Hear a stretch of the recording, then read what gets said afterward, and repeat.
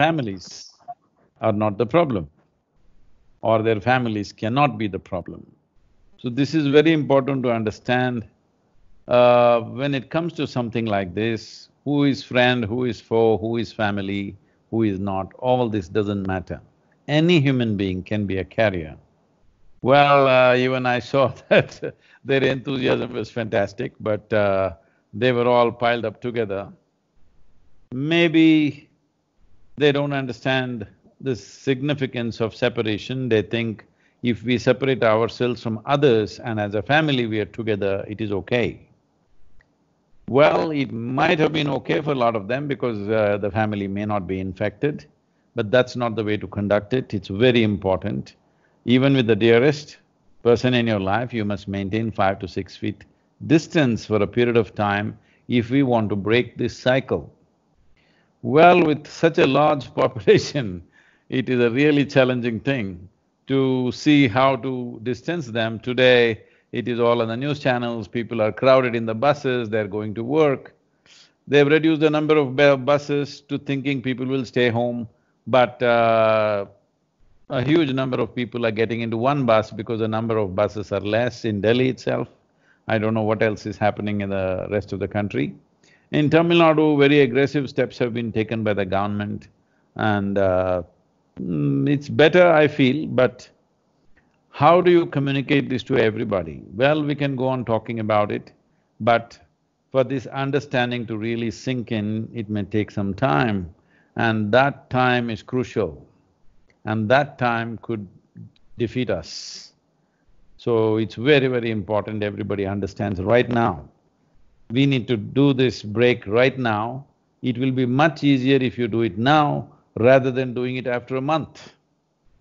When if, hope it doesn't happen, but if the fatalities increase in a big way, there are many hopeful thoughts in our minds that it won't happen to India because of variety of things, the weather, our natural immune system being stronger than the Western people, all these hopes we have, I hope it works for us, but there is no guarantee about this. If the fatalities increase, then of course clampdown will happen. Forceful clampdown will happen. If it's a voluntary distancing, it is so much better than forceful clampdown because forceful clampdown will become cruel in many different ways. Because somebody who enforces with a gun will enforce irrespective of what is your need. Even if uh, somebody, you know, like uh, your father is dying in the house, they will still enforce it on you because not knowing what you… you know, whom to trust, whom not to trust, that'll become the issue.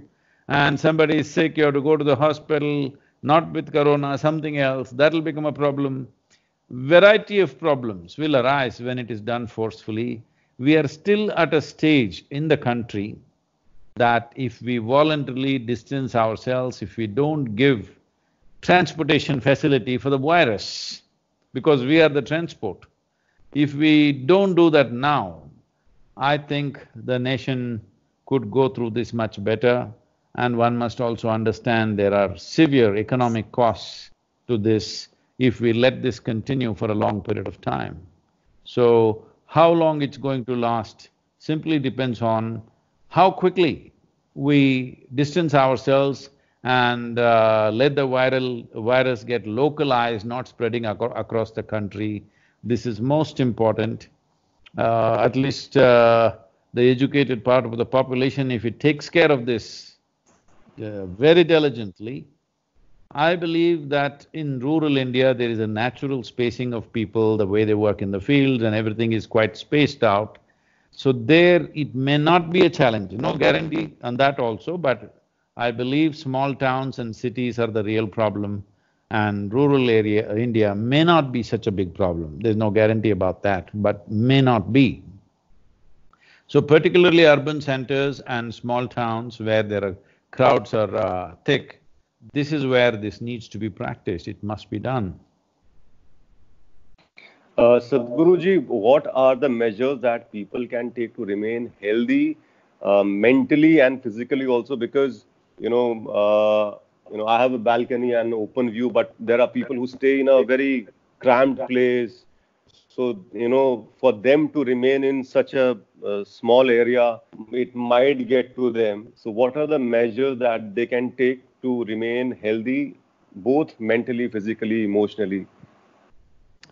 See, yesterday's curfew was a test case, whether we can do it or not. I think uh, largely the nation came out successful in that test. But the important thing is it's not necessary families should remain cooped up in small homes. They can come out into open air, but they must maintain that six feet or two meter distance from any other human being, no matter who they are. Actually, being outdoors is better, but this is a dangerous thing to say in the cities because outdoor means again they will get cramped up in a park or somewhere else. But if you're living in villages, if you're living in towns where you can easily go outdoor, outdoor is a much better space to be than being in one room, ten people being in one room or five people being in one room is far more dangerous than being on your terrace at least or somewhere where there is more air and there is more uh, space between people naturally.